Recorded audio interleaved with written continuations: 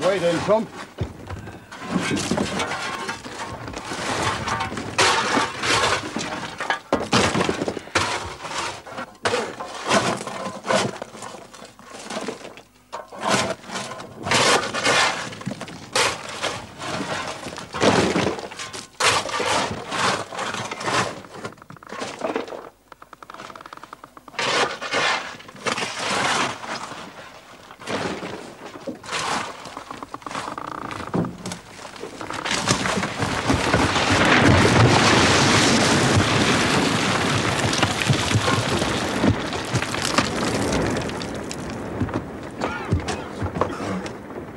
Da? The kitchen, she open the kitchen. She was.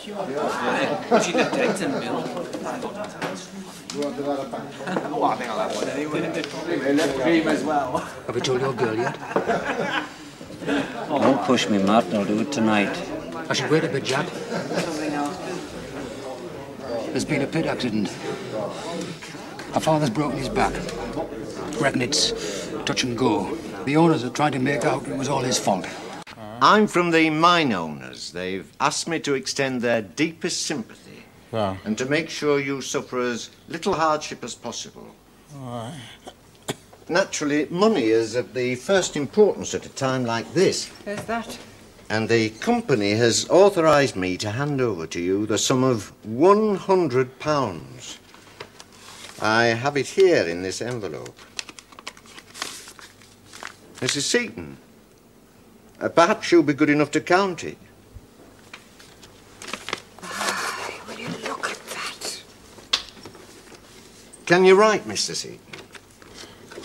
I went to school like everybody else. No, no, you misunderstand me. I mean, are you able to write in your present condition? Uh, Just your signature. I think so. What do you want us to sign? A, a receipt for this money, it's rather a lot, you know. There's that. And it has to be signed for.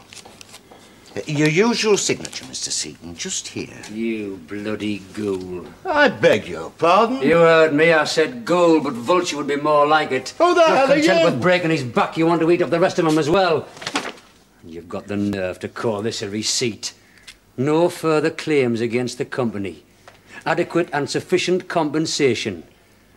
Freely admit it was caused by my own error of judgment. You very near signed your life away, Mr. Seaton. Give him his money back. Jack, it's a hundred pounds.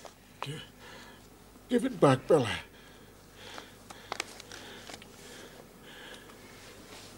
Mr. Seaton, you're acting very foolish. Thank you for calling. Mr. Seaton, I think you Good ought day. You heard him, mister.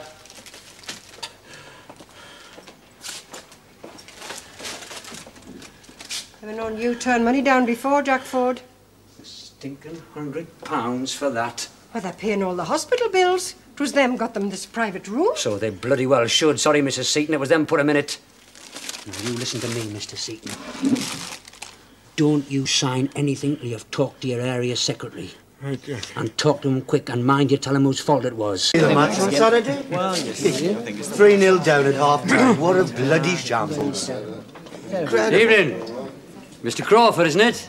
Aye, that's right. Bill Seaton's area secretary. Aye. Tom, I didn't see you there. I'm just saying to the lads here, what an awful thing to have happened. Could have been a lot worse, Mr. Crawford. Worse than a broken back. There could have been a broken back and a hundred quid compensation and not a penny more.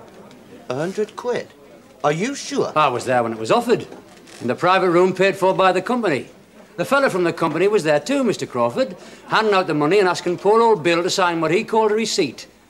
I read it, Mr. Crawford.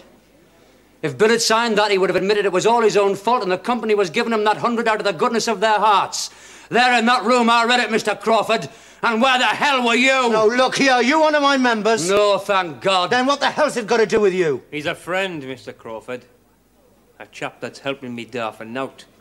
While the fella that's paid to help him sits in a pub and drinks beer. I was just on my way over. Why, there's nobody stopping you.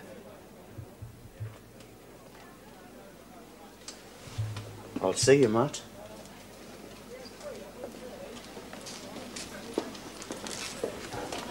thanks, Jack. Never mind, thanks. You've got a lot to do. Witnesses' names. You better get on with it. Can you not stop and help us? No, it's not my union, Tom. I've stuck my nose in far enough. We can still talk if you want to see me. They are, chaps. Ta. Thanks very much. Hey, Geordie, you were there, weren't you? Aye.